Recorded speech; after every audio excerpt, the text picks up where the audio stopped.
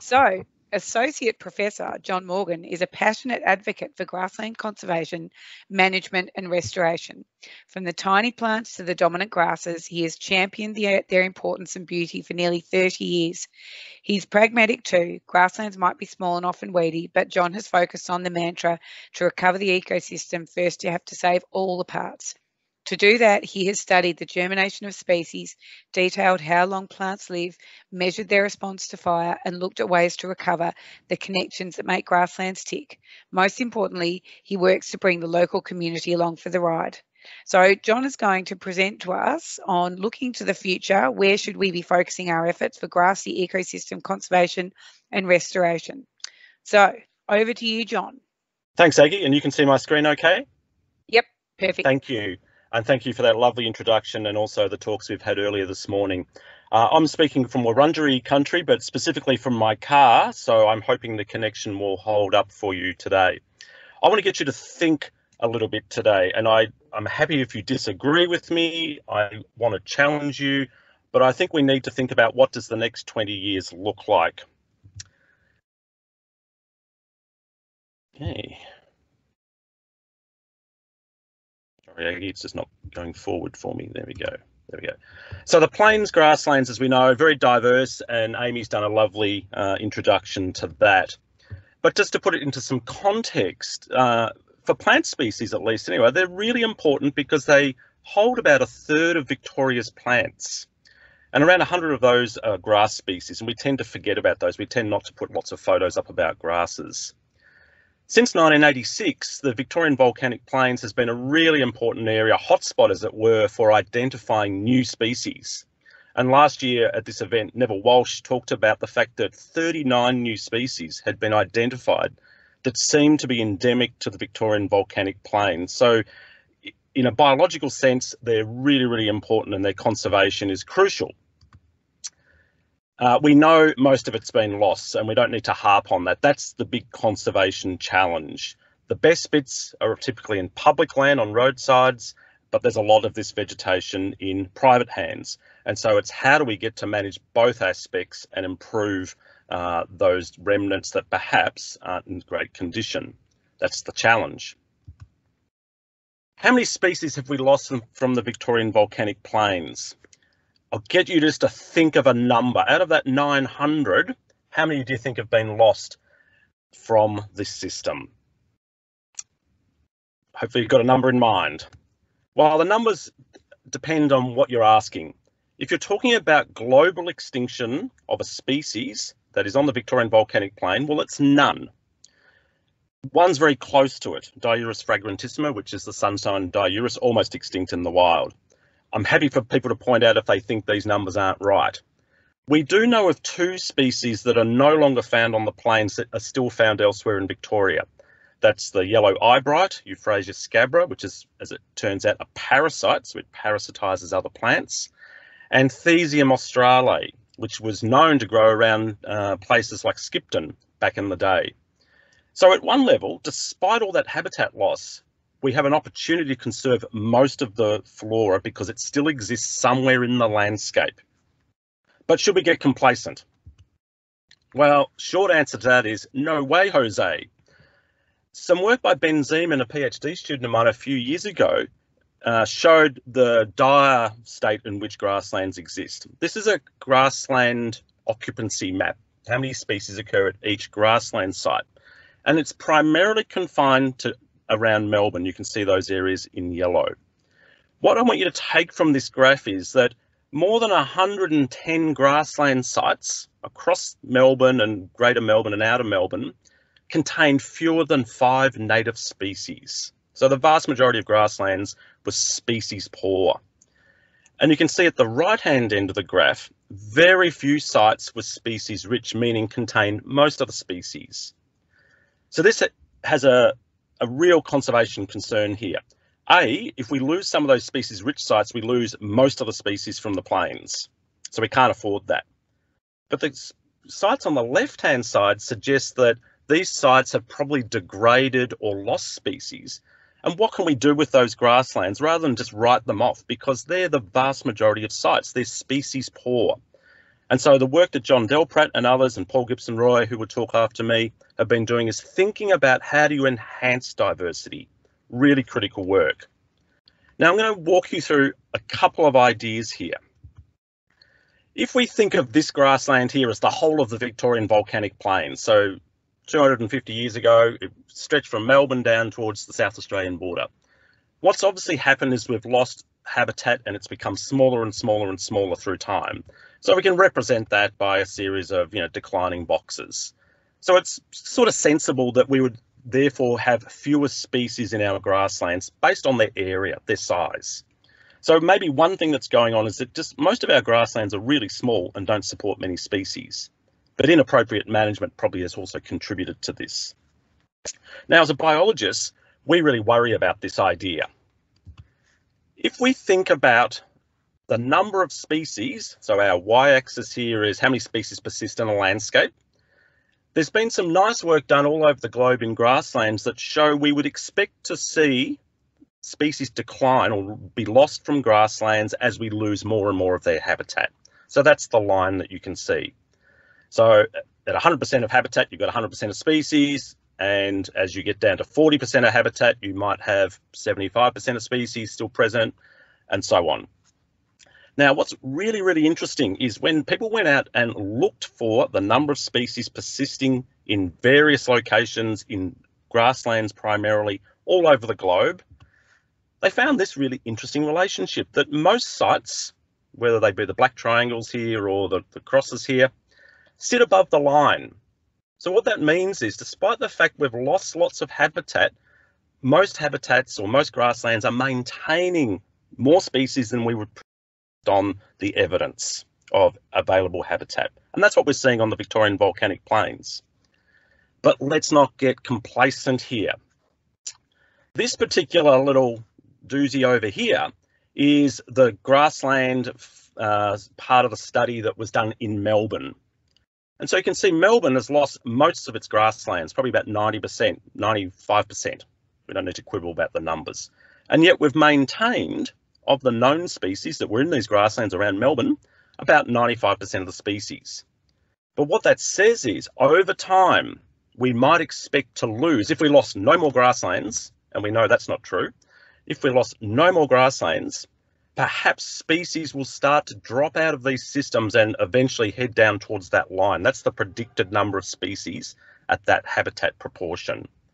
So shockingly, shockingly, we expect to lose 44% more species or perhaps over 500 species in coming decades or centuries. And this is a concept called the extinction debt. Species are hanging around, but ultimately go extinct as they dwindle away. And perhaps that process has already started. So that's a really key challenge for us to think about how do we manage grasslands to ensure A, we can prevent this from happening, but we actually improve the proportion or the area of grassland in which these species can persist. That gives us a bit of hope, actually. Perhaps it's not too late We've still got most of the species. We've lost most of the habitat. We've been talking about that for a long period of time. So what the hell are we going to do to prevent this from happening? That becomes the crux of the question. So clearly we need to enhance protection of these areas and we've been doing a lot of that work over the last 30 years. That includes identifying sites, putting fences up, getting inappropriate disturbances out, things such as four-wheel driving and stuff like that. We've got to manage these sites They've got weeds, they've got fire requirements, they've got all sorts of landscape context problems, um, whether that be urban or agricultural areas. So we've got to manage them. We know that. And I see in the chat box, you know, how we do that still needs to be uh, expressed uh, to many people. We've got opportunities for restoration. And so Paul Gibson Roy, speaking after me, has pioneered with John Delpratt how to restore grasslands from scratch. But what I want to talk about today is what else should we be thinking about? What have we either not got on the radar? What have we forgotten about? What should we actually do? I'm going to start in a really curious place, probably one that you wouldn't think. I've got five things I want to cover. And so the first one is a focus on the inch flora. And you'll see why in a moment. Now, if you don't know what I mean, uh, that's because you're too young to know what an inch is. Uh, we're talking small plants, maybe 2.5 centimetres tall or less, an inch. And so here we've got a fantastic example of one of those inch flora called Hyalosperma demissum from the daisy family. Isn't it gorgeous? Now, annual plants have some really big challenges in life. And I just want to touch briefly on what those challenges are. Now, I'm going to use a non-local example. This is a little uh, annual plant that happens to inha inhabit waterways. But if you think about it, they're tiny. So they're we don't see them, obviously. But biologically, that means they've got lots of stresses. They've got to compete with lots of bigger plants. You know, they don't weigh much. You know, so how the hell do they make a living? Uh, as I said, they're tiny. If you know what a mountain ash is, the world's tallest flowering plant, which occurs in the Dandenongs just up the road from me, they're 165,000 times shorter. That's going to put you at some disadvantage. And if you compare them next to a giant redwood, we all know what they are, they're 7 trillion times lighter in, in, in mass. So you think, wow, these plants have some real disadvantages here. So why is this important for Victorian volcanic plains? Well, on the VVP, there's a whole range of plants that are be both beautiful in their own right, but also easy to overlook. So I'm just going to go through a few of them. If they're new to you, that's great. That means that we don't have them on our radar at all. This one here used to occur at Skipton, uh, near the Skipton Common. Don't think it does anymore. Isn't this fantastic? You might be aware of the trigger plants, the perennial ones that we've all gone along and triggered to get them to uh, shoot. Well, you get annuals. Here's Stylidium despectum. Fantastic thing, isn't it? Gorgeous. Another little daisy. This one does hang around a little bit uh, more, possibly because it's a touch bigger than most annuals. Triptilodiscus pygmaeus. It's funny, pygmaeus meaning small. It's actually the biggest of the annuals. Uh, so really, um, these plants do have a bit of a challenge. One of my favourite groups, the Centrolepis uh, group. Uh, here's a little hairy one here called Strigosa. Uh, look at this Levin Levenhookia. This is related to those trigger plants. It just doesn't have the trigger fantastic little thing. Now, if you've seen any plants growing across the VVP, all good for you because they're actually really rare now. Indeed, almost all of them have disappeared across most of their range of the Victorian volcanic plains. And we did a survey just recently thinking about the species we knew of on the VVP, and that comes from observations of early botanists by Sutton and Patton back you know, 100 years ago or more. And we put our heads together and our collective survey inventories together, and we decided we hadn't seen 16 species of these annuals on the VVP, which is almost half of them, for at least multiple decades. Have they already gone locally extinct across the plains? So the reason I draw your attention to this is I think we need to get serious about species conservation. Grasslands as a ecosystem are highly threatened, but it's the species in them that actually contribute to why these things are important. And Aggie's already uh, sold my line here. If we want to save this ecosystem, we need to get serious about saving all the parts. And this annuals example is one where we've just, it's not been on our radar at all. And we're losing a whole bunch of species. So I come to my second point about what should we be thinking about? And it links beautifully to the annuals story because we have to ask, well, why have annuals gone missing? And I think it's got something to do with the fact there are missing elements to the function of grasslands that we've not really spent much time thinking about. These are hard challenges, of course, so I'm not suggesting that you know these are going to be things that we can switch overnight. So what do I mean about function?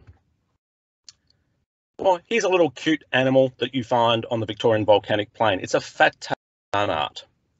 And if you didn't know, dunnarts are carnivores. They're aggressive little beasts. They've got big teeth. They hunt things.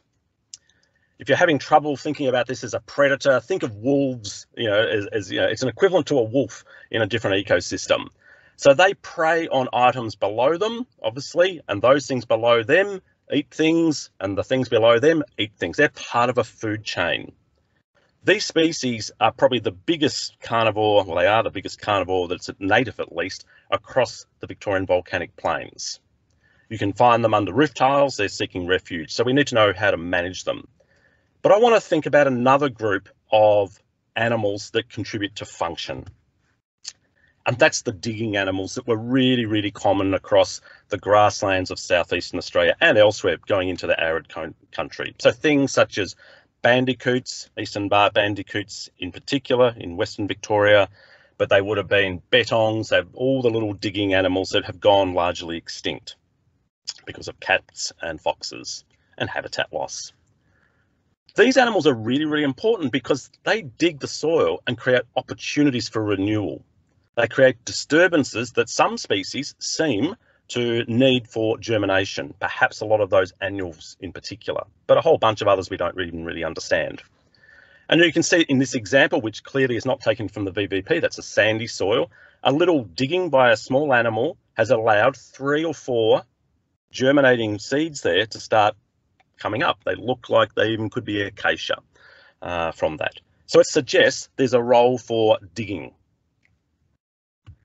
a beautiful essay just came out last week on highlighting this, and that's why I put it in actually, because uh, Orshi here, Orshi Decker, who's a ex-PhD student at La Trobe University, did her PhD about Australia's native gardeners, these small animals that were digging, digging up tubers, creating opportunities for renewal, putting litter back into the soils rather than blowing away or degrading in other, or not even degrading. And so she talked about how the loss of the country's digging mammals compromises the continent's arid soil health. But I think she lost, she missed the opportunity to talk about the loss of these system drivers for generating opportunities for regeneration in grasslands. And so you can go into grasslands and you can see this kind of activity. We see diggings, we see breaking up of soil canop uh, plant canopies, these little foraging pits that then can um, trap nutrients and water and become microsites for germination. Now we're just starting to put some of these animals back into ecosystems. Predator-proof fences have proved pretty important. But if we're going to be serious about trying to restore grasslands, we need to think about not so much obviously on roadsides, on the high quality sites, because it'll probably be a bit challenging, but restoring larger public and private land blocks, maybe animals play a really critical role and it, we're doing wonders for their conservation as well.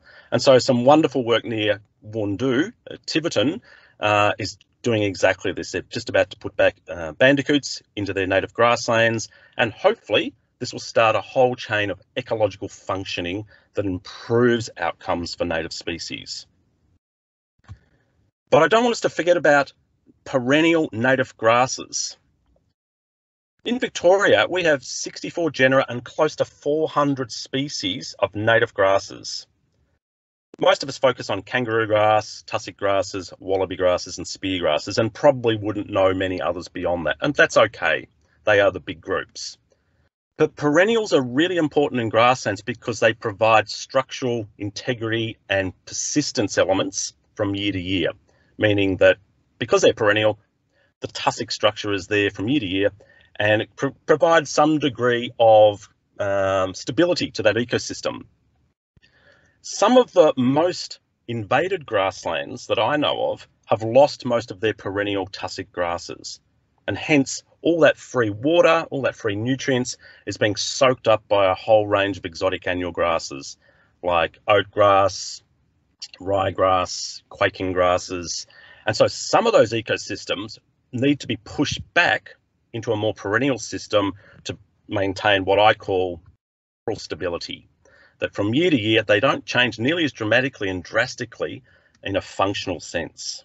We've really not really thought much about this at all. In many cases, we want to knock back the native grasses to allow all the other species to persist. But the perennials are there the whole time, sucking up nutrients and using water. My third uh, before I get to that, I'm going to just have a little tiny rant just for one minute. Why function matters is because the EPBC Act, our premier environmental legislation in Australia, and the FFG Act in Victoria, the premier environmental legislation in Victoria, is pretty much silent on function.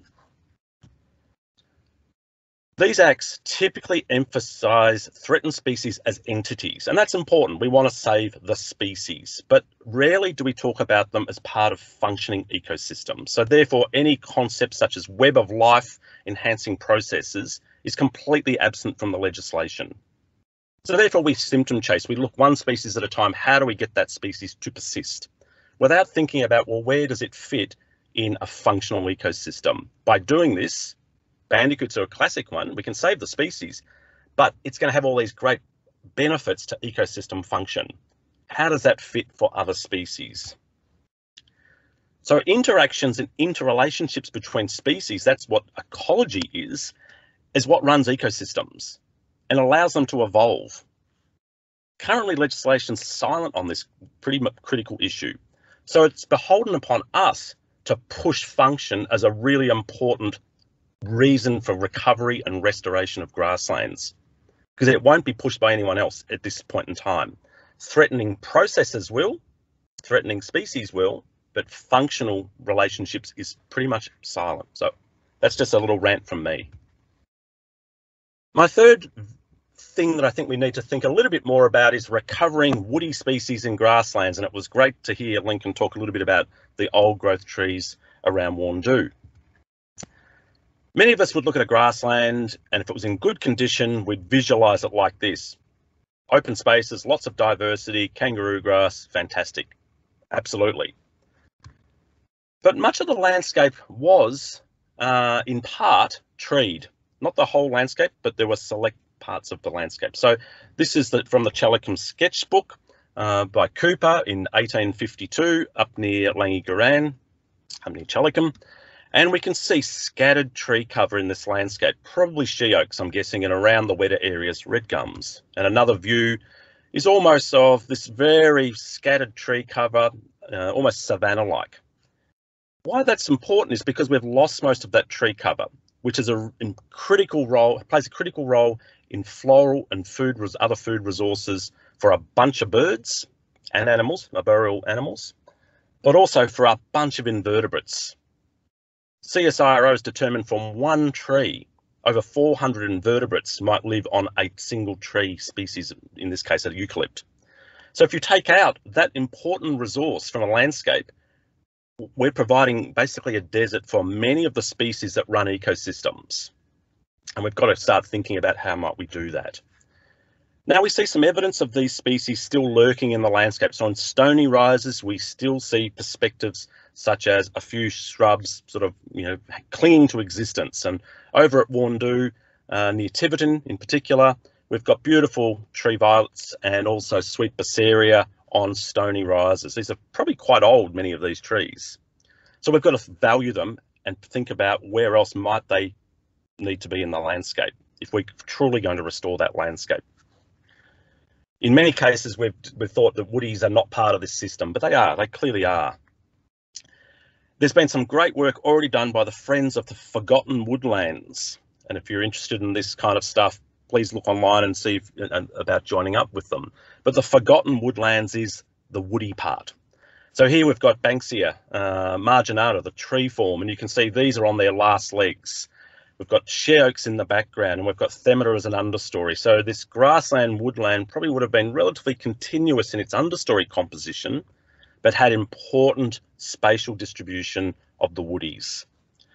Now, obviously, this is an important species of Banksia because of the floral resources it provides to honeyeaters. How do they get through the landscape if we don't provide these kind of elements of the ecosystem?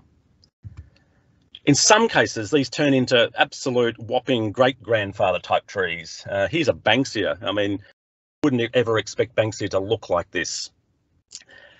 Don't know how old it is, because it's very difficult to age. It's clearly very old based on the size of it. You can see someone about to put a tape measure around it. And I know when we did that, it came out at well around two meters in girth. Unfortunately, a year after this photo or so was taken, this plant died. Probably a bit of old age. It was looking very healthy at that point, but also probably either drought or some mixing of temperature. They, they seem a bit high temperature sort of sensitive in these landscapes. So this species has now, well, sorry, this individual has died from this particular site, but thankfully there are a few seedlings that are now protected that will become the next generation. We need to do more of this to save both the species, to save the landscape, and to save the connectivity of that landscape. Speaking of connectivity, what a nice little segue. I think what we haven't done very well is think about what do we want this landscape to look like in 2050? And it's beholden on us to do this. Climates are changing. How are species going to move around landscapes? Where will they persist into the future? We need to be thinking about that in some respects. If we were just to stand back and look at an entire landscape, there's a whole bunch of things we might immediately think we could do. We should expand the area of existing grassland remnants. We might want to enhance the quality or the number of threatened species populations by appropriate targeted management. We might want to reduce the impact from surrounding environment. That could be perhaps, you know, pulling down a sugar gum plantation that might be, you know, sucking the moisture out of a grassland for argument's sake. Or we might also think about increasing connectivity because connectivity is what allows gene flow to occur. It also allows species to move through landscapes and hence that evolutionary process to continue. And that's how species will respond positively to things such as climate change by ongoing evolution. Currently, this landscape is very limited in those options.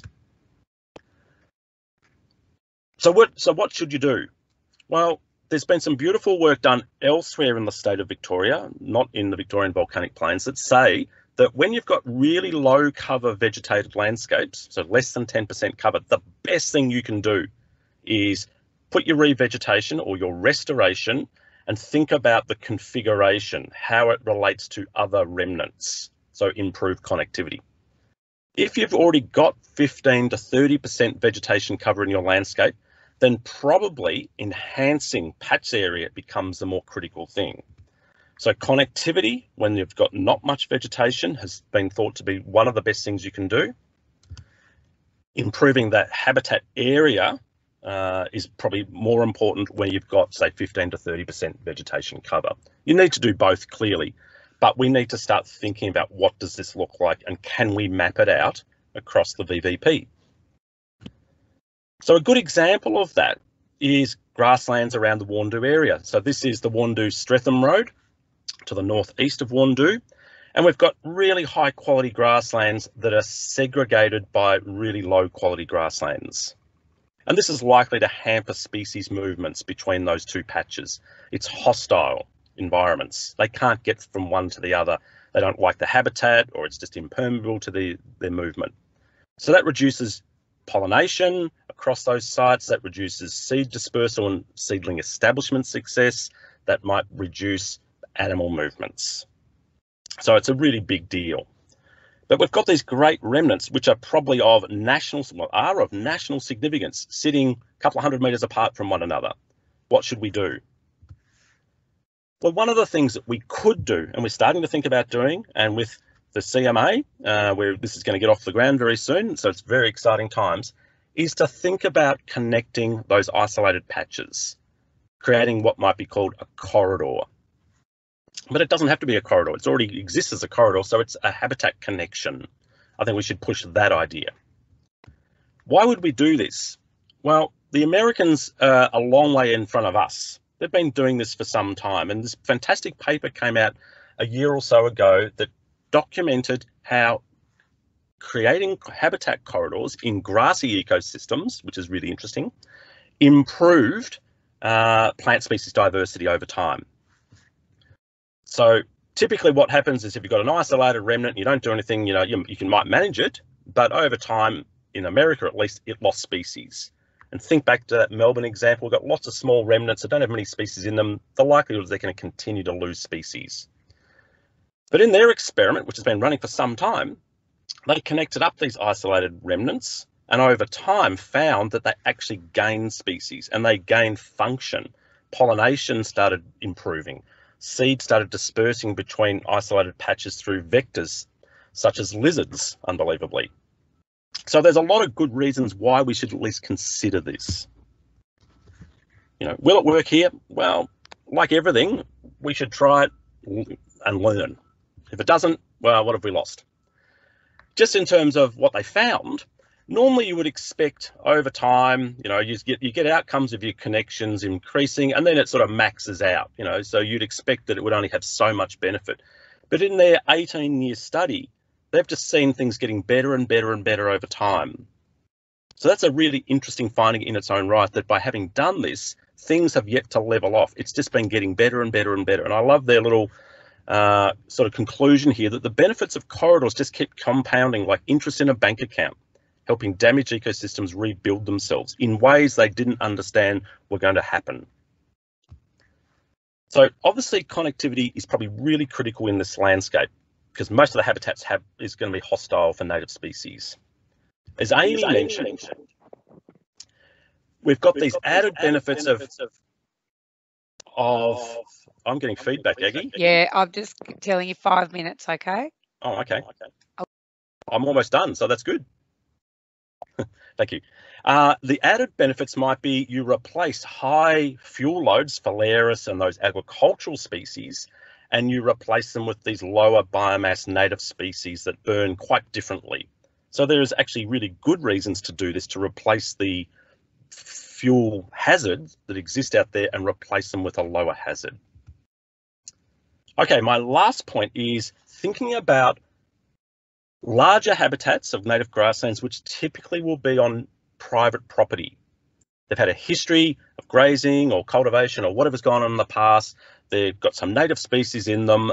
That's where we've got to do a lot more work is thinking about how to enhance species poor habitats, which might be quite large, and connecting them up with better remnants so we can start getting this function going.